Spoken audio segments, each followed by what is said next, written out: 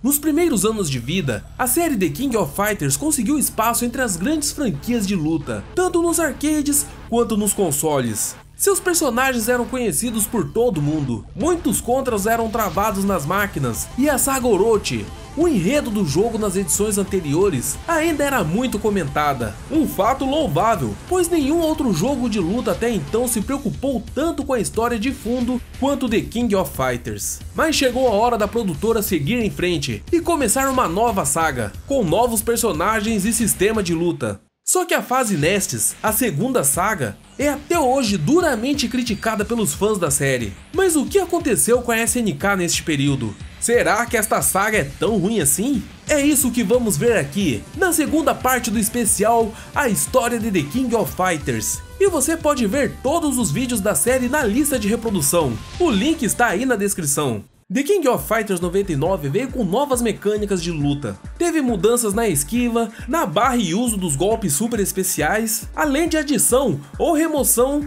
de vários movimentos dos personagens. Mas outras alterações eram mais visíveis. Agora podíamos estourar 3 barras de especial para entrar no modo de ataque ou no modo de defesa. No modo de ataque, os golpes causam mais dano, e entre outras melhorias, fica mais fácil cancelar movimentos, possibilitando combos mais elaborados. No modo de defesa, o personagem leva menos dano quando acertado e fica com super armadura, ou seja, durante a execução de um golpe, ele não para mesmo quando é atingido. Também entraram os Strikers. Um dos lutadores fica na reserva e podemos chamá-lo algumas vezes para entrar na briga. Isso é meio inútil nas mãos de amadores, mas jogadores experientes podem usar o auxílio dos Strikers tanto para escapar de ataques mais pesados quanto para prestar suporte na hora dos combos. Este torneio não era mais televisionado e acompanhado pelas massas. O The King of Fighters voltou a ser secreto, e podemos ver isto pelos cenários, que se passam em ruas desertas ou terrenos baldios. Agora os times eram de 4 jogadores, sendo o quarto usado apenas para auxiliar nas lutas. Por isso,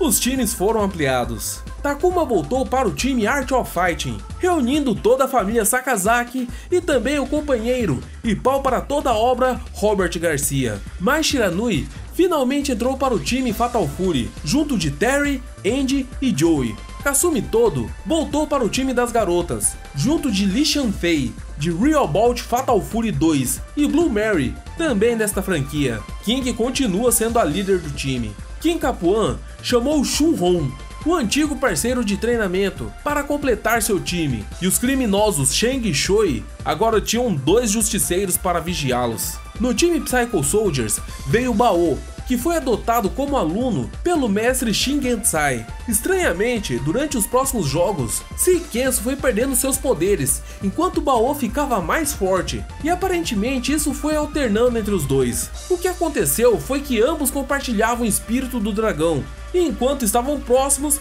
seus poderes eram transferidos de um para o outro.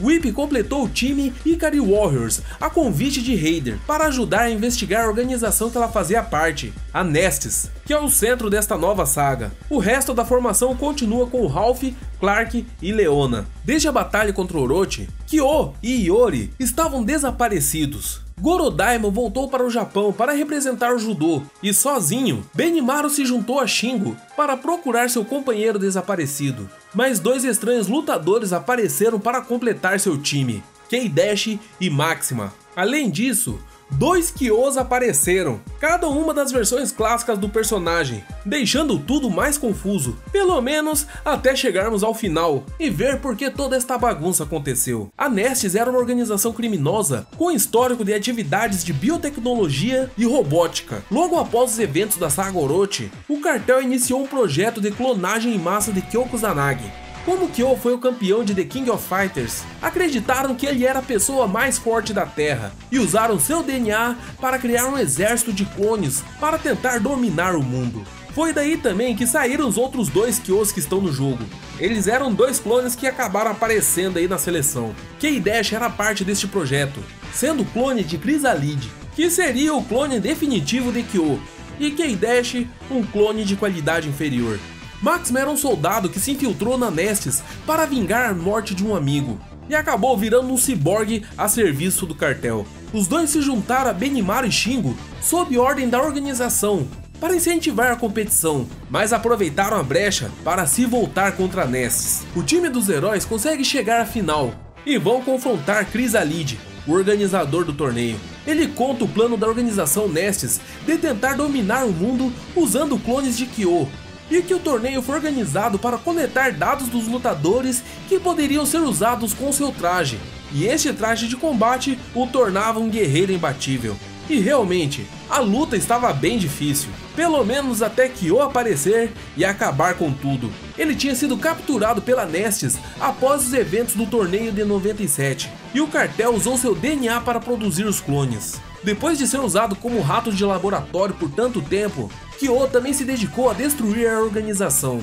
Chrysalid, por sua vez, viu que também foi apenas usado pela Nestes para conseguir os dados dos lutadores.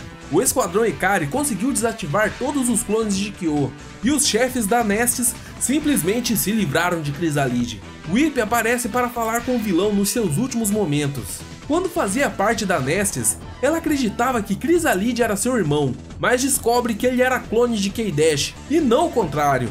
Ou seja, era Chrysalid o clone inferior. Aí também sabemos direitinho a origem dela e de K-Dash. K-Dash e sua irmã Seira não têm muitas recordações da infância, pois eles foram capturados pela Nestes, ainda crianças, e suas memórias foram apagadas ou reprimidas.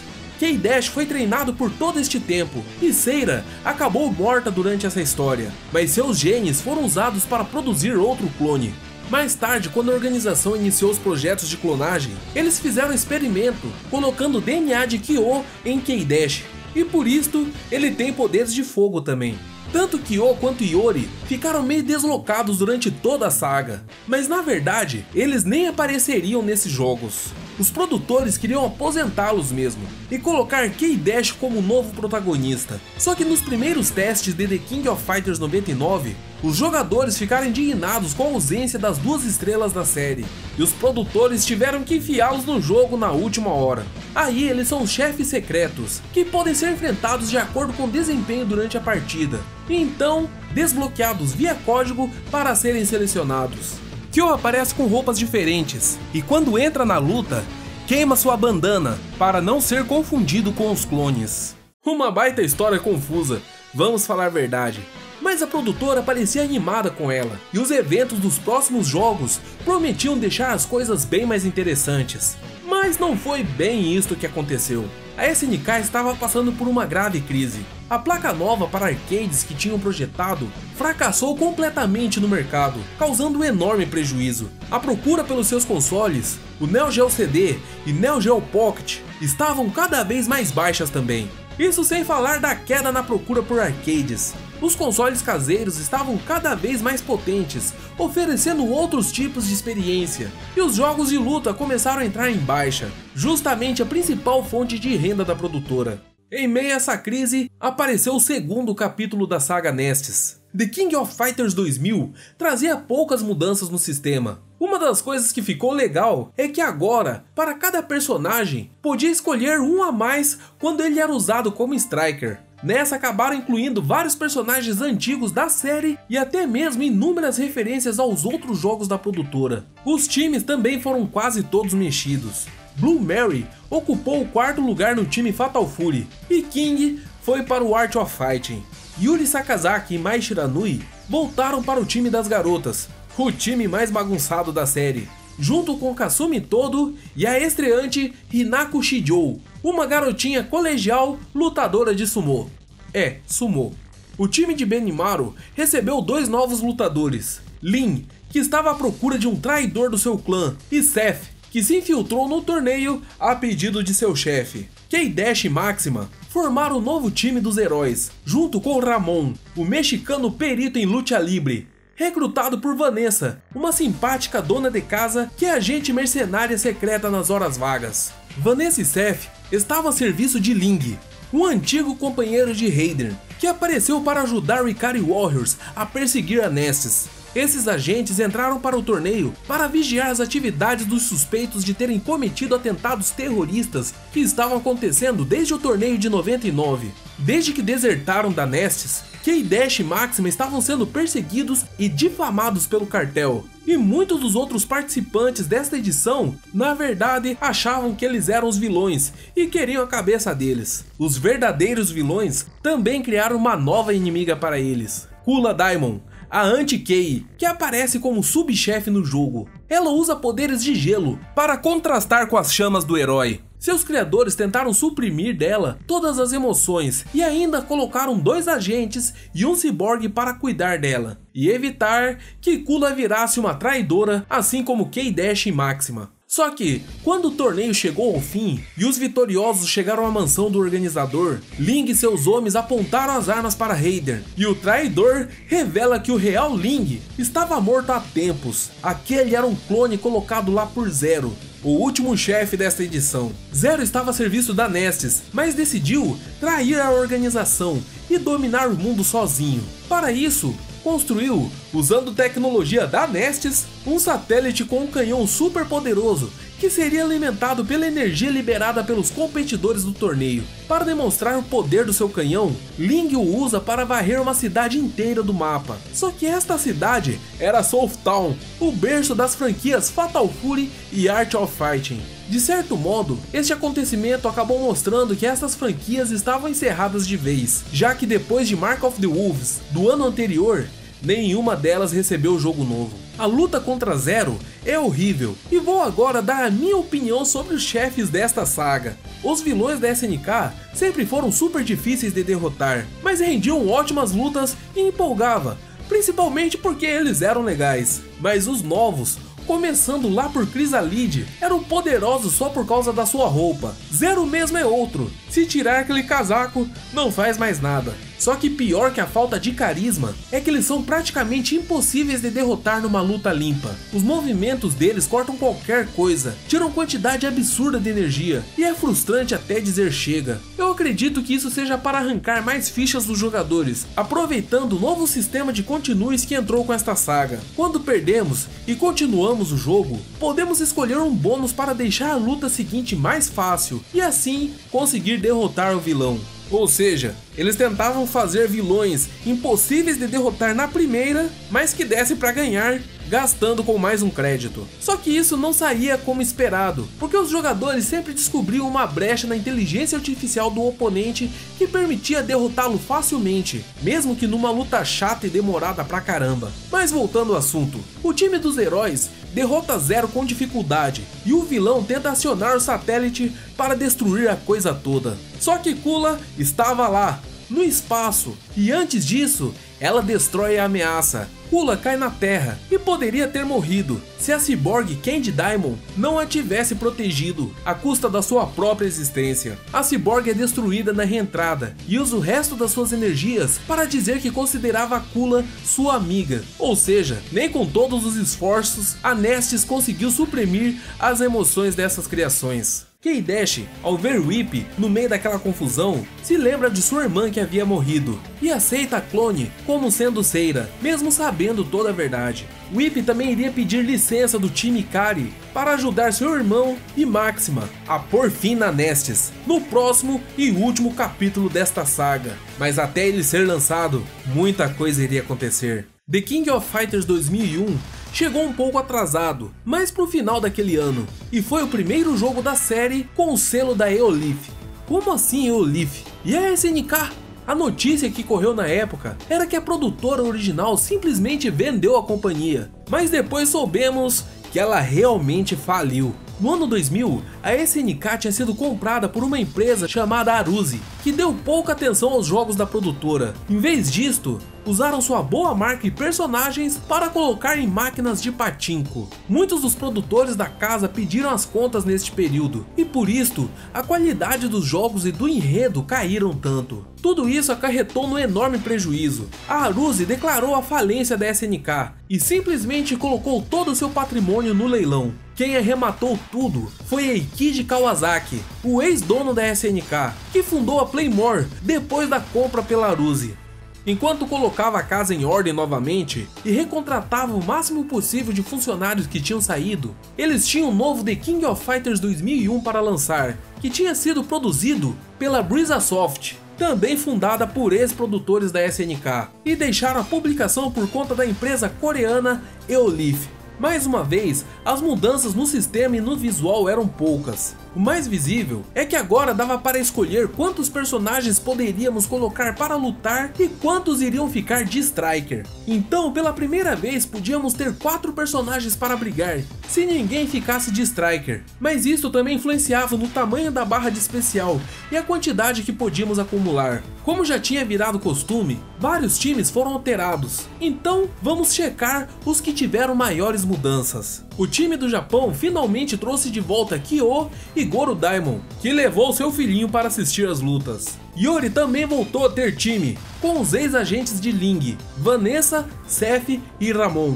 Whip e Lin se juntaram a K-Dash e Maxima para tentar dar fim de vez na Nestes. Com Whip fora do Ikari Warriors, Raider ocupou seu lugar, continuando pessoalmente a perseguir a organização. Jun Hong se machucou antes do torneio e não pôde participar. Quem chamou uma de suas alunas, Mei Li, para entrar em seu lugar. E teve também o time Nesses, composto por Kula, sua parceira Foxy e dois personagens estreantes, a nova musa do fanservice, Angel e K49, que, por sinal, me lembra alguém.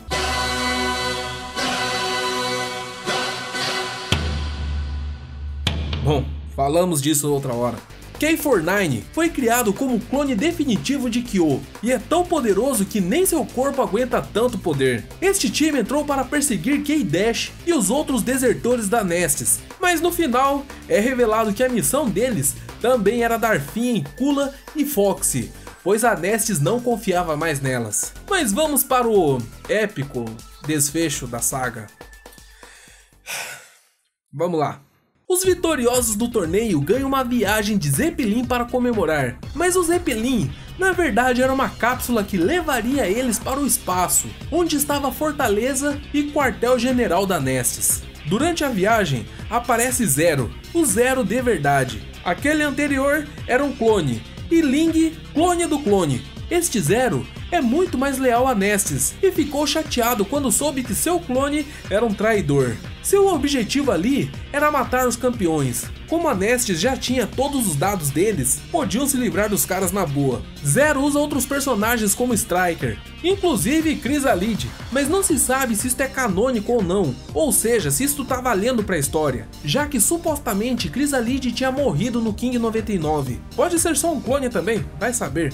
Enfim, ele é derrotado pelo time e deixa que eles entrem na base da Nestes sem mais nenhuma interferência. Na fortaleza espacial, eles conhecem Nestes, o chefe da coisa toda. Ele diz que K-Dash foi criado por ele mesmo, como sendo sua mais poderosa criação, e a presença de K-Dash lá era prova disto. Então a figura que está do lado de Nestes o desintegra com um único movimento. Este é Ignis, filho de Nestes, e agora o chefe da organização. Ele também é dono de poderes assombrosos, que nunca foi revelado a origem e para falar a verdade, não faz sentido algum. E ele diz que se tornará um novo deus e vai dominar a Terra. Você lembra o que eu falei sobre os chefes apelões, lá na parte do Zero Clone, né? Então, pode multiplicar tudo aquilo por 10 e vai saber como é Ignis.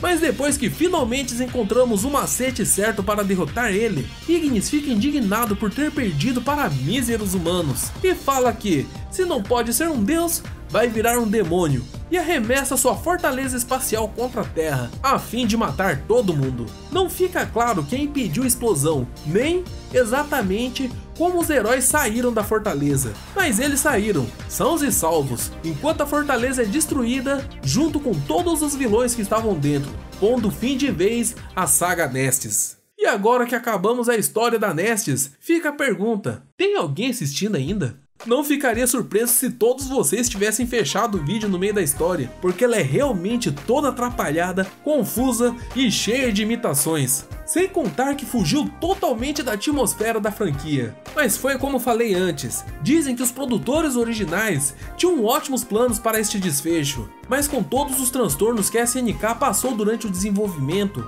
e as trocas de equipes, tudo foi alterado. Sabendo de tudo que aconteceu, temos é que ficar felizes pela franquia ainda existir e render jogos para nós. Mas tem detalhes interessantes de alguns outros finais que valem a pena destacar. Depois dos eventos, os membros originais do time do Japão se separam novamente, deixando Shingo Yabuki sozinho e triste. Mas uma figura surge dizendo que vai treiná-lo e deixá-lo tão forte quanto Kyo. Saisho Kusanagi, que morreu em The King of Fighters 94, morreu mais uma vez em The King of Fighters 95 e aparece aí, Vivinho da Silva neste final. Depois dos incidentes, Yori arranja treta com seus parceiros de equipe e fala que eles vão voltar para casa num daqueles sacos de carregar defunto. É que esses caras eram novos na série. Provavelmente fizeram um time com Yori porque não sabiam a fama que ele tinha. Fox foi atacada por K49 e Angel. Deu a entender que ela tinha sido morta, só que mais tarde reapareceu viva e saudável. K49 e Angel sumiram depois da destruição da Nestes e nunca mais apareceram na história da série. Participaram apenas de alguns jogos rematches. Kula ouviu o discurso do chefe da Nestes e descobriu que, diferente dos outros, ela era uma forma de vida completamente artificial. Ela passa a viver com K-Dash, Maxima e Whip, as vítimas do cartel, e juntos começaram uma vida nova, onde eles finalmente são livres. No ano seguinte, mais uma vez teve a edição dos rematches em The King of Fighters 2002, ainda sendo distribuído pela Eolif. Gostaria também de corrigir o que eu falei no vídeo anterior, sobre o King of Fighters 98 não ter sido bem recebido. De fato, ele não foi, mas isso foi pelo público casual que estava interessado na história. Como esses rematches não têm história, nem personagens novos, o tempo de produção vai todo para refinar e balancear o sistema. Em termos de gameplay, tanto The King of Fighters 98 quanto 2002 são aclamados até hoje como os mais balanceados da série, e por isto ainda é muito jogado por aí, principalmente nos contras, e ambos ganharam reedições para várias plataformas. Por isto também, The King of Fighters 2002 se parece mais com o 98 do que com os jogos da saga Nesses, times apenas com 3 personagens e 100 strikers. E depois do Dream Match de 2002, chegou a hora da nova SNK apresentar a saga seguinte, que traria mudanças polêmicas e o vilão mais odiado de toda a série, Ash Crimson. É, por trás desses caixinhos dourados tem muita coisa para contar, e é isto que vamos ver na terceira e última parte de A História de The King of Fighters, com a saga Ash e o renascimento da SNK. Acompanhe a série pela lista de reprodução, o link está na descrição e na anotação aí no vídeo. E eu queria saber o que você acha da saga Nesses, tanto os jogos quanto a história e os novos personagens. Deixa sua opinião aí nos comentários e aproveite para clicar no gostei e adicionar o vídeo aos seus favoritos para dar aquela força para o canal. Se é a primeira vez que está por aqui, inscreva-se para acompanhar os lançamentos e siga nas redes sociais. Estamos no Facebook, G+, e Twitter. Os links estão aí na descrição. Eu vou ficando por aqui. Nos vemos no próximo vídeo. Falou!